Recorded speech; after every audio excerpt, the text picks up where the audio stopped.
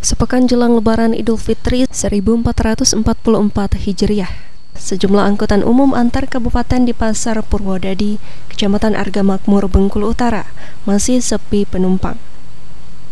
Contohnya travel Indo Makmur yang biasa menarik penumpang dari Arga Makmur ke Kabupaten Kemuko, mengaku hingga saat ini jumlah penumpang masih sangat sedikit. Padahal untuk tarif angkutan sendiri hanya mengalami kenaikan Rp10.000 per orang atau dari Rp130.000 menjadi Rp140.000 khusus pada momen Lebaran Idul Fitri. Hal ini diperkirakan karena banyaknya pemudik yang saat ini lebih memilih mudik dengan kendaraan pribadi, mengingat angkutan umum ini hanya melintas antar kabupaten. Kalau untuk kondisi pemudiknya kini udah mengalami peningkatan apa masih belum? Belum masih stabil biasa Masih biasa ya? Eh, masih Oh, belum biasa. ada pelonjakan Ya, penumpang belum? ah.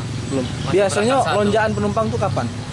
Hamin tigo biasanya kalau dari harga makmur Oh Hamin Tigo dari sini ya. Kalau sekarang berarti masih standar lah ya. biasa Hal yang sama juga disampaikan para supir travel trayek Bengkulu Utara hingga kota Bengkulu yang mengeluhkan sepinya penumpang. Bahkan untuk menarik penumpang, beberapa supir justru memilih untuk tidak menaikkan ongkos. Menjelang baru sepi, tidak ada penumpang. sepi. Sepi-sepi betul. Sepinian. Ya, tidak ada penumpang.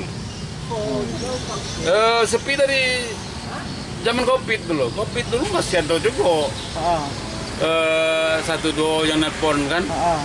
Nah itu tidak ada, belum ada. Kalau ongkos ada naikkan enggak? Ya kita nak naik kan kalau ada penumpang, ke penumpang dan cuma nak naik.